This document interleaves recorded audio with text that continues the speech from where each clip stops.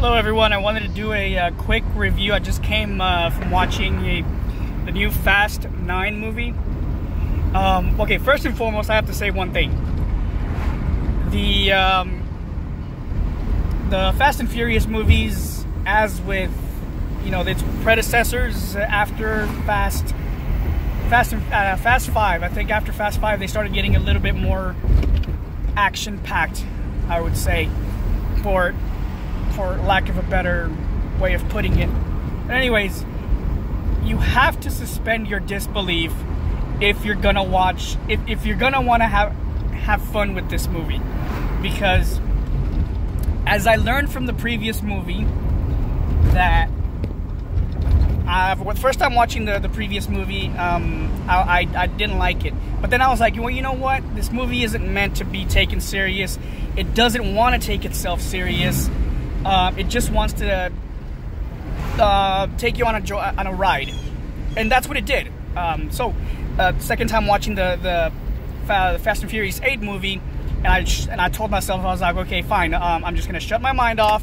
I'm just gonna enjoy the movie, and I did. So, just letting y'all know, if you want to enjoy Fast 9, you you better just suspend your disbelief because you know what that's what movies really well most of them that's what most of them should be about. Suspending your disbelief and just let, uh, enjoying a film for the sake of having fun with a film. So um, there's a lot of things that i like there's a lot of things that i didn't like but as i said it's, it's going to be a quick review.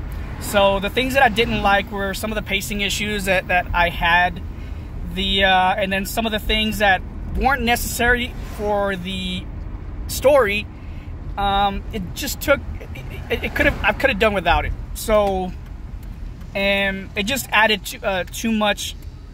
To, uh, too much that was unnecessary for the film. So, that uh, was uh, let's see what else. Oh yeah, I gotta mention this because uh, that uh, this really this really cool scene took me by surprise. No spoilers, but there was a cool explosion that took place in the distance, and I gotta give it to the sound department because they did a magnificent job.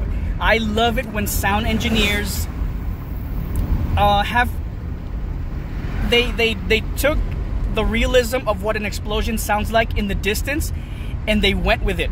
Uh, some um, some sound engineers will just have uh, fun. Um, well, some sound engineers will just um, go with the creative side for the sake of uh, or for the sake of art and make it sound cool or you know more you know more um, more action packed I, I, guess is just a way of saying it but anyways the uh, there was that, that scene that there was some explosions heard in the distance and the way it sounded is exactly how it how, ex- how exactly how it sounds in real life because I've heard explosions in the distance, and that is exactly how they sounded like.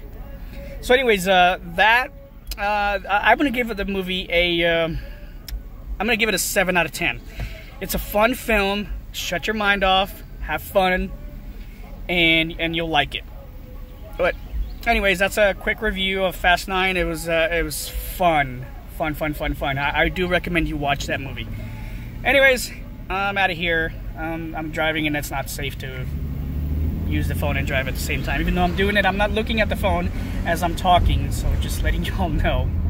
Um, yeah, that's it. Bye.